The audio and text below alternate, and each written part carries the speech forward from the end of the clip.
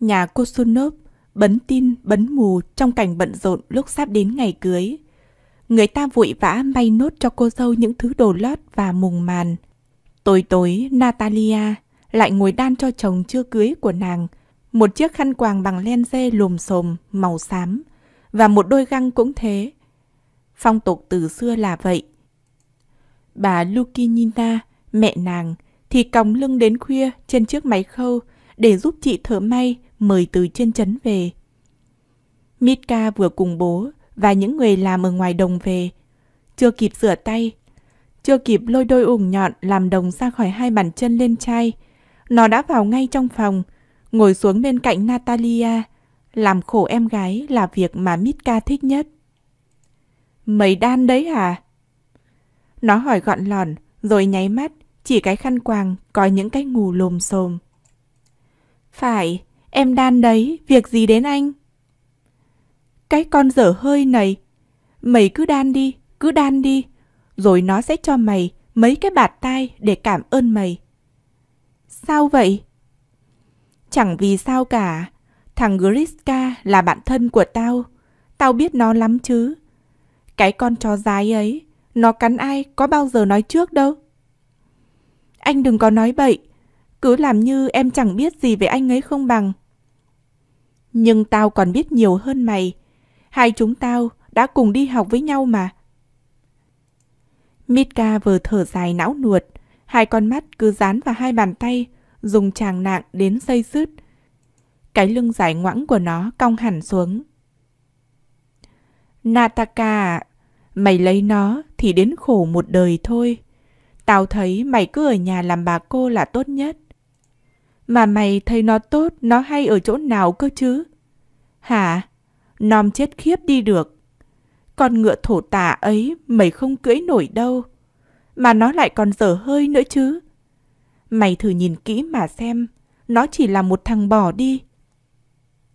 Natalia giận lắm, nàng nuốt nước mắt và cứ gục xuống chiếc khăn quàng, nom đến là tội nghiệp. Mitka không mùi lòng, vẫn tiếp tục nói ác. Nhưng điều chủ yếu là cái tính nó khô khan. Mày còn khóc cái gì nữa chứ? Sao mày xuẩn thế? Nataka. Thôi cắt đứt đi. Tao sẽ lập tức đóng yên con ngựa. Phi sang bảo nó.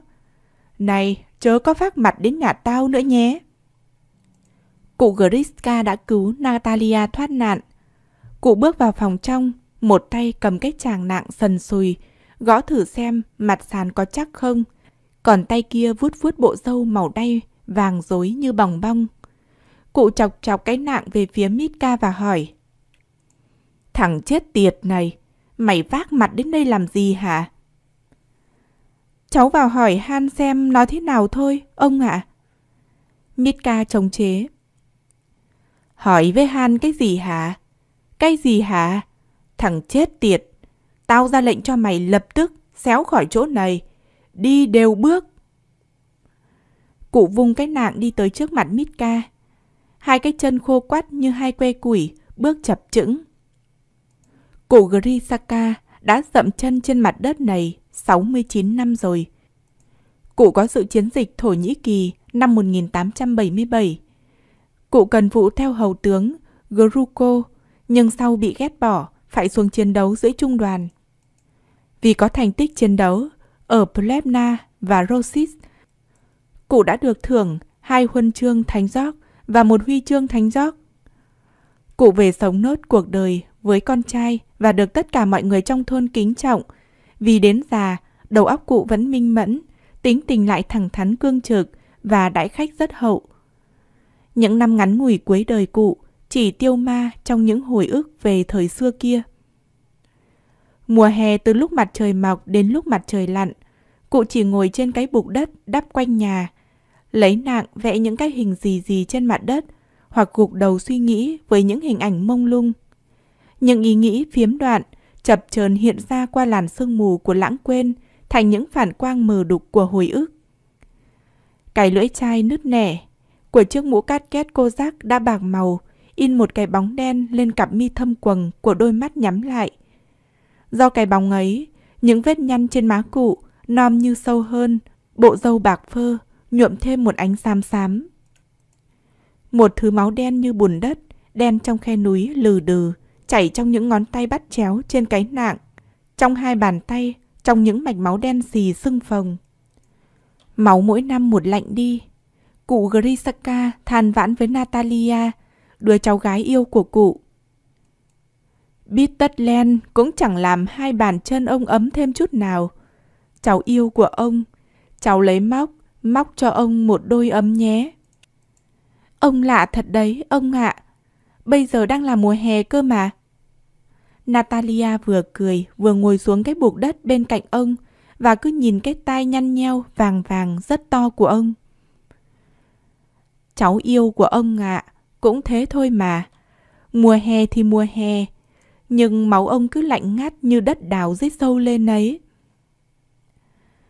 Natalia nhìn cái lưới, những mạch máu trên bàn tay ông và nhớ lại rằng hồi Natalia còn bé lắm, có lần người ta đã đào một cái giếng trong sân và Natalia đã lấy đất sét nhão trong cái thùng ra để nặn những con búp bê rất nặng và những con bò có hai cái sừng đến là dễ gãy. Natalia hồi tưởng rất sống động. Cảm giác lúc nàng chạm tay vào chất đất không sức sống, lạnh như băng lấy từ một chỗ sâu năm sa gen lên. Và bây giờ thì nàng kinh hãi nhìn hai bàn tay ông. Hai bàn tay giả nua màu đất sét, đầy những vết da mùi nâu nâu.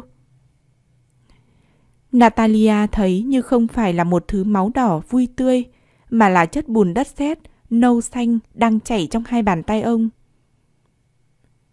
Ông có sợ chết không hả ông? Natalia hỏi. Cụ Grisaka quay cái cổ ngẳng nhăn nheo nhằng nhịt những mảnh máu khô. Tựa như muốn lôi nó ra khỏi cái cổ đứng của chiếc áo quân phục đã tàng, tròm dâu bạc xanh rung rung. Ông đang chờ thần chết như một người khách quý đây. Đã đến lúc rồi còn gì. Ông sống đã nhiều, đã đi lính phục vụ nhà vua. Và trong đời ông, ông đã uống không biết bao nhiêu vodka rồi. Cụ mỉm cười nói thêm để lộ hai hàm răng trắng xóa, hai con mắt nhăn nhúm rung rung. Natalia vuốt vuốt tay ông rồi đứng dậy đi chỗ khác.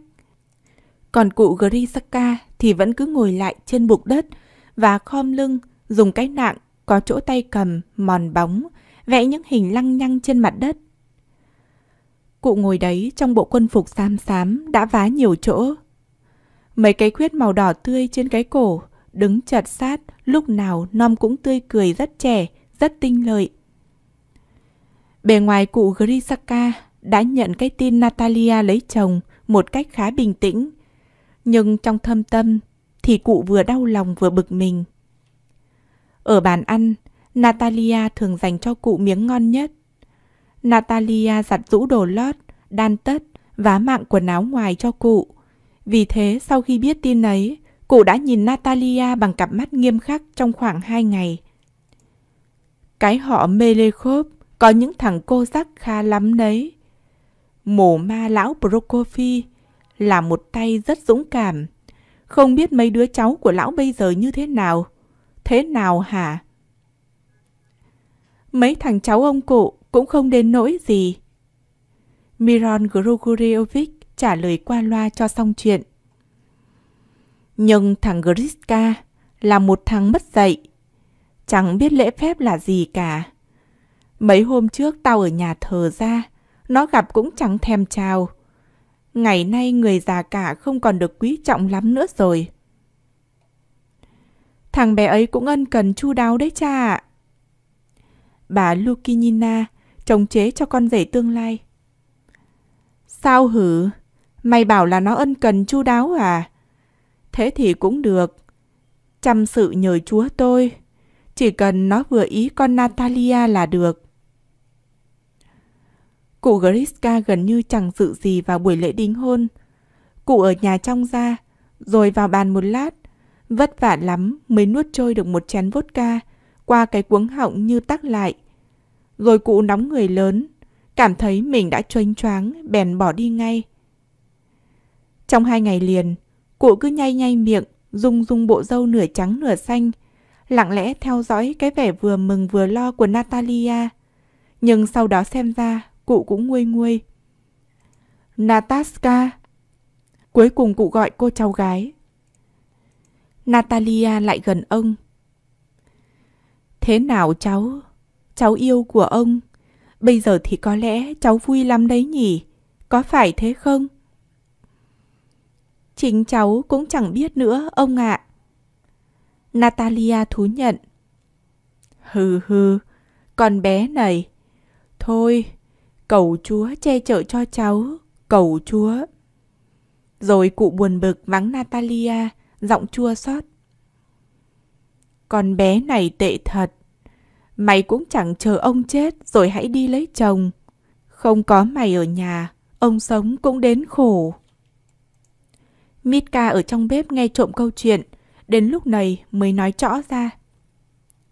Ông ạ, à, có lẽ ông còn sống hàng trăm năm nữa, thế mà nó cứ phải chờ đây chắc. Ông đùa dai bậc nhất đấy. Cụ Grisaka giận tái xanh mặt, thở không ra hơi nữa. Cụ gõ cái nạng xuống đất dậm chân. Cầm ngay, đồ chết tiệt, đồ chó đẻ. Xéo, xéo đằng nào thì xéo. Á cái thằng này, mày là đồ quỷ dữ, quân nghe trộm, đồ nghịch tặc nghịch tử. Mitka cười hì hì chạy ra sân. Cơn phẫn nộ của cụ Grisaka thì còn kéo dài rất lâu. Cụ chửi Mitka không ngớt miệng. Hai cái chân đi bít tất len ngắn cổ của cụ cứ rung bần bật, nhất là ở chỗ đầu gối. Natalia có hai đứa em gái là Maritka, chừng 12 tuổi, và Gripka 8 tuổi. Gripka là một con bé rất danh mãnh tinh nghịch, cả hai đều mong mau chóng đến ngày cưới chị. Hai người làm công thường xuyên cho nhà cô cũng không giấu nổi vẻ vui mừng. Họ chỉ mong được chủ cho chén một bữa túy lúy và trong thời gian cả nhà vui chơi sẽ được nghỉ hai ngày. Một người thì cao lêu đêu như cái cần kéo nước giếng. Anh ta vốn là dân Ukraine, vùng Bokucha và có cái tên hết sức kỳ quặc, Get Baba. Ba. Năm nào anh ta cũng phải có hai lần lùi túy càn khôn, lần nào cũng tiêu hết tiền công, bán sạch đồ đạc.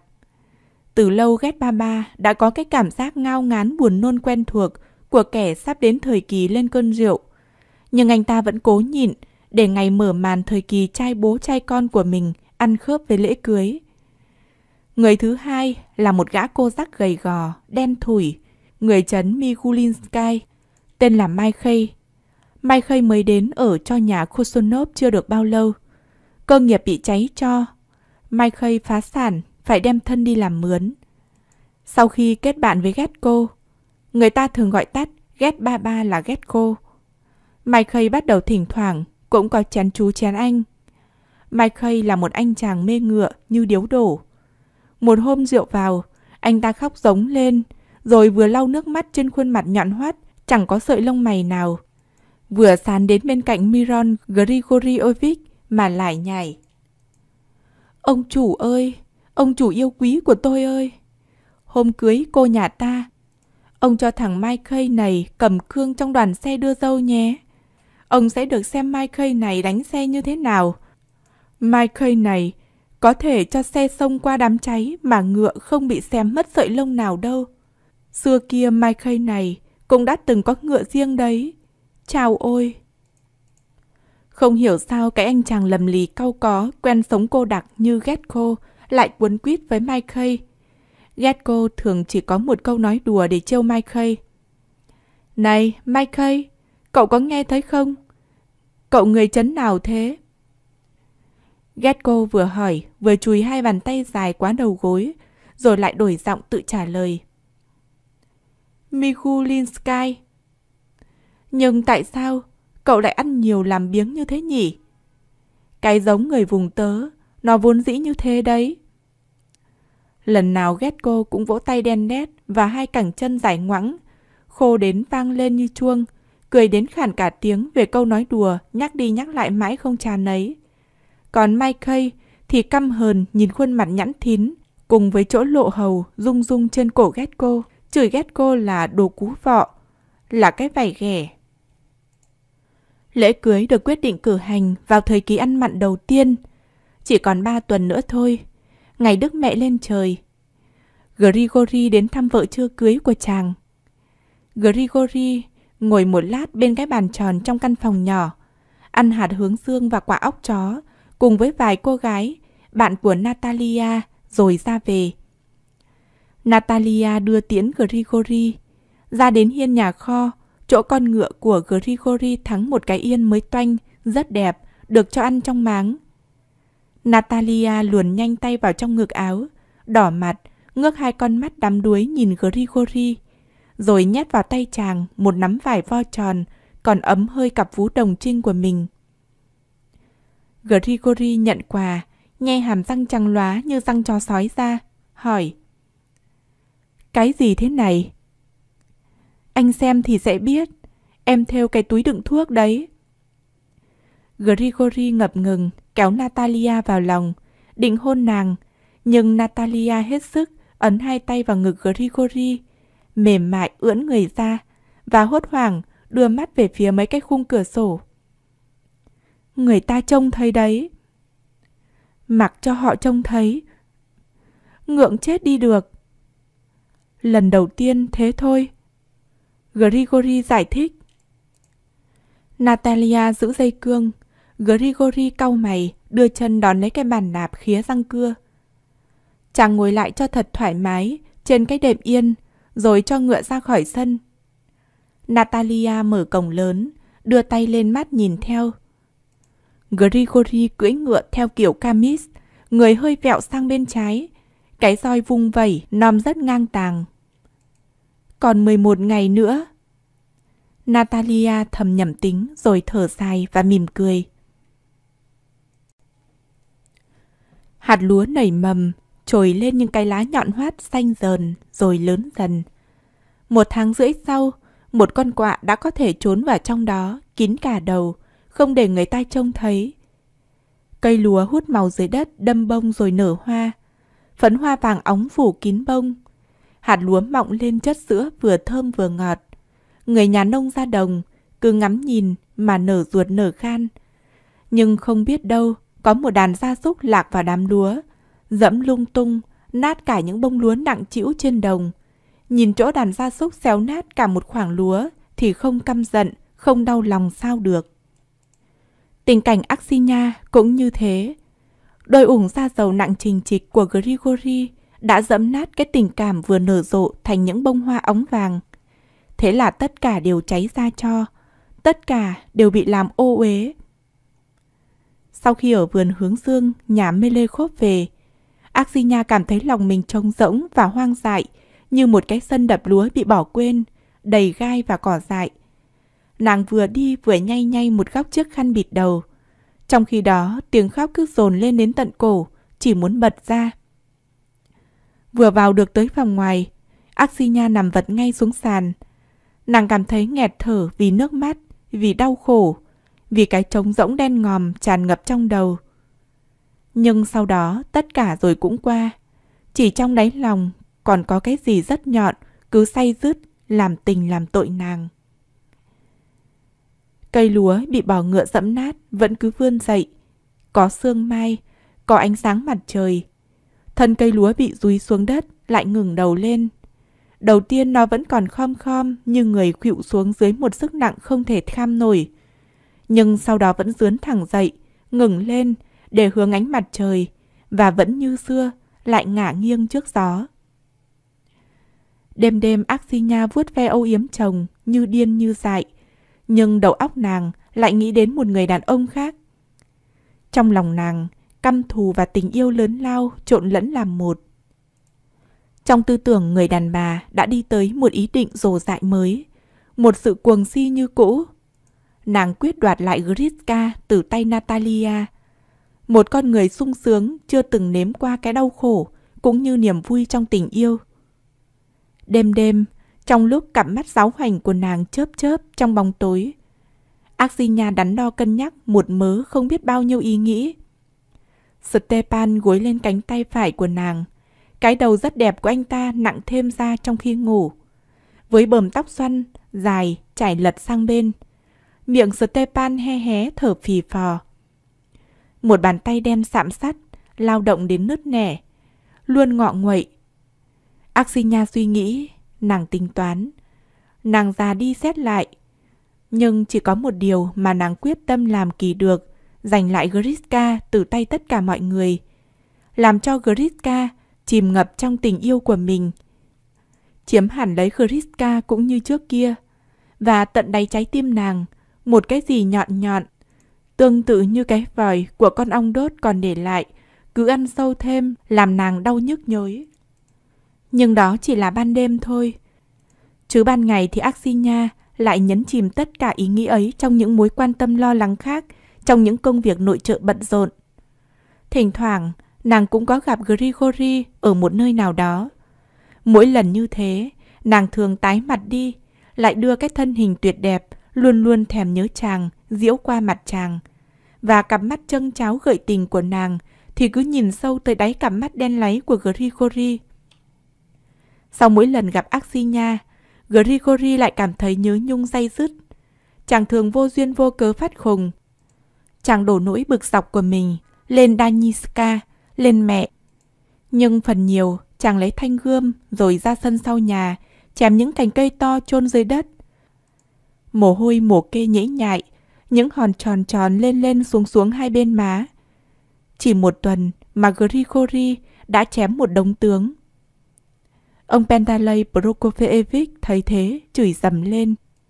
Cả cái vòng tay lẫn lòng trắng con mắt ông đều long lanh. Đồ quỷ dữ, đồ khốn nạn. Mày chém như thế là phí toi hay cái hàng rào rồi? Mẹ mày chứ, tưởng làm vương làm tướng gì? Đi mà thi bổ củi. Đồ nhãi xanh, mày hãy chờ ít lâu nữa thôi. Đi lính tha hồ mà bổ. Ở đấy thì chẳng mấy ngày người ta sẽ trị được những thằng như mày. Để sửa soạn đoàn xe đón dâu, nhà trai trang hoàng bốn chiếc xe hai ngựa. Một đám người quần lành, áo tốt, như trong ngày hội, đang túng tụng quanh những chiếc Briska đỗ trong sân nhà Merekhov. Phù rể Petro đứng cạnh chú rể. Petro mặc một chiếc vest tông đen và một cái quần rộng màu xanh da trời có nẹp. Quanh tay áo bên trái buộc hai chiếc khăn trắng. Sau bộ ria màu lúa mạch chín, luôn luôn thấy nở một nụ cười mát đầy vẻ tự tin. Griska này, đừng có rụt rè e thẹn quá. Phải ngẩng cao đầu lên như một con gà trống mới được. Sao lại ỉu xìu cau cau có có thế? Quang cảnh chung quanh mấy chiếc xe thật là ầm ĩ, rối tinh rối mù. Phù rể đi đâu mất rồi? Đã đến giờ lên đường rồi đấy. Ông bạn đỡ đầu ơi! Gì thế? Ông bạn đỡ đầu ạ. À? Bác đi chiếc xe thứ hai nhé. Bác có nghe thấy không? Ông bạn đỡ đầu. Có mắc thêm những cái sàn treo lên xe không nhỉ? Có lẽ không có sàn treo, bác ngồi cũng không đến nỗi long mất chân tay đâu, xe chạy êm lắm. Với cái váy len màu tiết dê, người thon và mềm mại như nhành liễu đỏ, Daria chạy ra hích Pedro một cái và dương cao cặp lông mày tô đen thành hai đường vòng cung. Đến giờ lên đường rồi đấy, anh ra nói với cha đi, bây giờ có lẽ bên ấy họ đang chờ rồi đấy. Chợt thấy ông bố khập khiễng bước ra không biết từ chỗ nào, Petro thì thầm với ông vài câu rồi ra lệnh. Xin mời bà con cô bác lên xe. Năm vị lên trước Briska của tôi cùng với chú rể anh Anikei cầm cương nhé. Mọi người đã ngồi yên chỗ. Bà Ilinina trịnh trọng ra mở cổng lớn, mặt bà đỏ như gấc. Bốn chiếc Briska đuổi nhau trên đường phố. Petro ngồi gần cạnh Grigori. Daria ve vẩy chiếc khăn tay bằng đăng ten, ngồi trước mặt hai người. Thỉnh thoảng những chỗ ổ gà hay những đoạn sống trâu trên đường lại làm ngắt quãng tiếng hát ea những vành mũ cát két cô giác đỏ lóe, những chiếc áo quân phục, áo vest tông xanh hay đen, những cánh tay áo buộc những mảnh khăn trắng, những chiếc khăn choàng của phụ nữ nổi như một chiếc cầu vồng bị cắt thành nhiều đoạn. Những cái váy sặc sỡ, bụi kéo dài sau mỗi chiếc briska như những cái đuôi áo bằng voan mỏng. Đoàn xe của nhà trai đi đón dâu.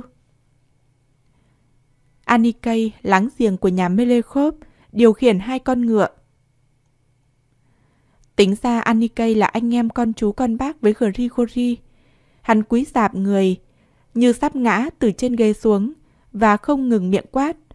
Tay quất roi đen đét. Hai con ngựa đầm đìa mồ hôi kéo căng dây thắng, vươn thẳng mình ra như sợi dây đàn. Quất chúng nó đi! Quất đi! Petro gào lên. Anh chàng không dâu không ria, Anikei nháy mắt với Grigori, cười nhăn cả khuôn mặt nhẵn thín như mặt đàn bà, rồi vừa rít lên vừa vung roi quất tới tấp hai con ngựa. Tránh ra! Ông Ilia Ozugim, cậu của chú rể, vừa vượt chiếc xe của Anikei, vừa gầm lên như sấm.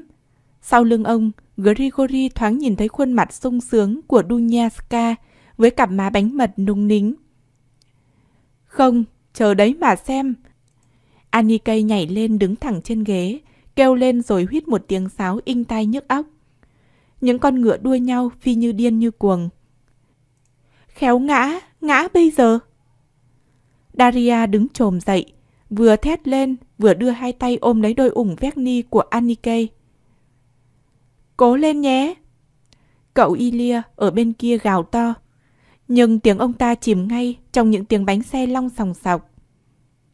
Hai chiếc Briska còn lại cũng chạy song song trên đường. Trên xe đầy những người quần áo sặc sỡ như nở hoa, luôn miệng la hét om sòm. Mấy con ngựa đều khoác những cái áo đỏ tía, xanh da trời hoặc hồng nhạt, bờm và lông chán con nào con nấy đều kết hoa giấy, cùng với những dải màu. Con nào cũng vươn dài mình trên quãng đường gập ghềnh, nhạc leng keng, mồ hôi sủi lên như bọt xà phòng, chảy dòng dòng xuống đất. Trên những cái lưng ngựa ướt đẫm, những tấm áo ngựa bị gió thốc lên, đập phần phật, nhăn nhúm lại. Bên cổng nhà Kusunov, một đám trẻ nhỏ đã chờ đón đoàn xe đón dâu. Thấy trên đường có bụi bốc lên, chúng chạy ùa vào trong sân. Họ đến rồi. Ngựa phi ghê không kìa. Trông thấy rõ rồi. ghét khô chạy ra, bọn trẻ vây ngay lấy anh ta. Làm gì mà súng đông súng đỏ thế này? Có cút cả đi không? Lũ chim sẻ đáng ghét này, léo nha leo nhéo, điếc cả tai người ta. Khô khon, ê, đồ bán nhựa trưng. Có giỏi thì cứ treo nhau đi. Khô khon, khô khon. Cái thằng bắn nhựa trưng. Bọn trẻ họ la inh ỏi, nhảy cỡn, chung quanh cái quần rộng thùng thình của Getco với hai ống quần non như hai cái bao tải. Getco gãi gãi cái bụng vừa dài vừa căng, mỉm nụ cười độ lượng, nhìn đàn trẻ la hét như hóa rồ. Anh ta cúi hẳn xuống như người ta nhìn xuống một cái giếng. Mấy chiếc Briska chạy ầm ầm vào trong sân. Petro đưa Grigori lên thềm. Những người trong đoàn đón dâu lũ lượt vào theo. Cái cửa từ phòng ngoài vào bếp bị đóng chặt. Petro gõ cửa. Lạy Đức Chúa Giêsu, xin người tha nợ cho chúng tôi. Amen. Bên kia cửa có tiếng trả lời. Petro gõ cửa ba lần và nhắc lại câu trên ba lần. Bên trong cũng ba lần có tiếng trả lời trầm trầm. Nhà ta có cho phép chúng tôi vào không ạ? Chúng tôi rất hân hạnh được mời. Cửa mở toang, phù dâu, mẹ đỡ đầu của Natalia, một người đàn bà quá, còn đẹp lắm, ra đón phù rể, phù dâu quý chào, miệng cười chung chím, đỏ mọng như một trái đùm đùm. Xin mời chàng phù rể uống cho khỏe người. Phù dâu đưa cho Petro một cốc cà phát đục ngầu, còn chưa ngấu. Petro vuốt ria uống cạn, hùng hắng ho, mọi người chung quanh cô nín cười. Chà, cô phù dâu thân mến của tôi, thết tôi như thế đấy. Thôi, chờ lát nữa, quả đũng hương xinh đẹp của tôi ạ. À. Tôi sẽ không chỉ thết cô như thế này thôi đâu. Không khóc với tôi không xong đâu. Có gì không phải, cũng xin chàng phù rể thứ lỗi cho. Phù dâu nghiêng đầu xin lỗi và tặng cho Petro một cái cười rất tinh quái. Trong lúc phù dâu phù rể thi nhau khoa môi múa mép, theo đúng ước hẹn trước, người ta đem ra mời mỗi người trong họ nhà trai ba cốc vodka. Natalia ngồi bàn và bị canh giữ. Nàng đã mặc áo cưới, đầu choàng khăn voan mới. Mariska cầm lăm lăm một cái trục cán bột giơ thẳng trước mặt. Còn Gripka thì lắc lắc một cái xẻng gieo hạt, vẻ mặt rất nghịch ngợm. Lúc này vodka đã làm cho Petro ngà ngà say, mồ hôi đầm đìa. Anh chàng cúi chào, rồi đưa cho mỗi đứa một đồng 50 kopek, bỏ trong một cái cốc nhỏ. Phù dâu nháy mắt với Mariska. Mariska bèn đập cái trục cán bột xuống bàn. Rẻ quá, không bán cô dâu đâu. Petro bèn bỏ thêm vào cái cốc một rúm vài đồng tiền lẻ bằng bạc. Tiếng tiền rơi leng keng. Không bán đâu. Hai đứa trẻ vẫn găng và huyết khỉu tay vào Natalia. Natalia cứ cúi gầm mặt xuống. Sao lại thế? Trả như thế quá đắt rồi. Thôi, bằng lòng bán đi. Hai con bé này. Miron Grigorievich ra lệnh và mỉm cười, len ngồi vào bàn. Bộ tóc hung đỏ của ông trải bằng bơ nấu lòng, nặc mùi mồ hôi và mùi phân bò. Họ hàng bạn bè của cô dâu đang ngồi quanh bàn đều đứng dậy nhường chỗ cho ông. Pedro dúi vào tay Grigori một chiếc khăn rồi nhảy lên một chiếc ghế dài, vươn tay qua cái bàn, dẫn Grigori tới chỗ cô dâu ngồi. Dưới những bức hình thánh, Natalia cầm lấy đầu kia của chiếc khăn trong bàn tay đẫm mồ hôi vì ngượng. Quanh bàn người ta ăn uống nhồm nhòm, người ta lấy tay xé thịt gà luộc, rồi chùi tay lên đầu. Annie gặm một chiếc đùi gà, mỡ gà vàng ệch chảy sền sệt trên cái cằm nhẵn thín xuống tới cổ áo. Grigori tiếc rẻ nhìn hai cái quỳ rìa của mình và của Natalia bị buộc liền với nhau bằng một chiếc khăn nhỏ. Rồi lại nhìn món mì bốc khói nghi ngút trong một cái bát men. Chàng đói lắm rồi, bụng cồn cào đến là khó chịu. Daria ngồi ăn thoải mái bên cạnh cậu Ilia. Cậu Ilia xé một miếng sườn cừu bằng những cái răng nanh rất to. Chắc hẳn cậu đang dỉ tai Daria những điều tục tĩu gì đó. Vì thấy Daria nhau mắt, rung rung hai hàng lông mày, đỏ mặt phá lên cười. Mọi người ăn cật lực, ăn mãi không thôi. Mùi mồ hôi đàn ông nặng như mùi nhựa trưng xông lên, lẫn với mùi mồ hôi đàn bà hăng hắc. Cất lâu trong hòm mới lấy ra, những cái váy, những cái áo ngoài của đàn ông, những chiếc khăn quàng đều nặng mùi băng phiến. Ngoài ra có một cái mùi nồng nặc, ngầy ngậy, y như mùi quần áo lễ cũ nát của các bà già. Grigory liếc nhìn Natalia. Đến bây giờ chàng mới nhận thấy lần đầu tiên rằng môi trên của nàng hơi dày, hơi trều ra ngoài môi dưới. Chàng còn nhìn thấy một nốt ruồi nâu nâu trên má bên trái, hơi dưới gò má một chút. Trên cái nốt ruồi ấy lại có hai sợi lông vàng ống và tự nhiên Grigori thấy khó chịu làm sao ấy. Chàng bỗng nhớ tới những món tóc loăn xoăn mềm mại trên cái cổ tròn chặn của Axinia và chàng có cảm giác như bị người ta vạch cổ áo, rắc xuống cái lưng đẫm mồ hôi của mình một nắm cỏ ngứa. Grigory dùng mình, cô nén cái cảm giác buồn nhớ ngao ngán và cứ nhìn đám người đang nhai nhồm nhòm, gặm rau ráu nuốt ừng ực. Khi hai họ đứng lên, rời khỏi bàn ăn, thì có một người thở ra toàn mùi vư sư va và mùi bánh mì chua loét, cúi xuống nhét vào ống đôi ủng của Grigory một dúng kê. Làm như thế để chú rể khỏi gặp phải chuyện gì chẳng lành nếu bị người nào có con mắt ác độc nhìn mình. Và suốt đường về, những hạt kê cứ lộm cộm lạo xạo dưới chân. Cổ áo sơ mi chật bó lấy cổ rất khó thở. Grigori bị khổ sở vì các nghi thức của lễ cưới cứ chửi thầm trong một tâm trạng tức tối tuyệt vọng.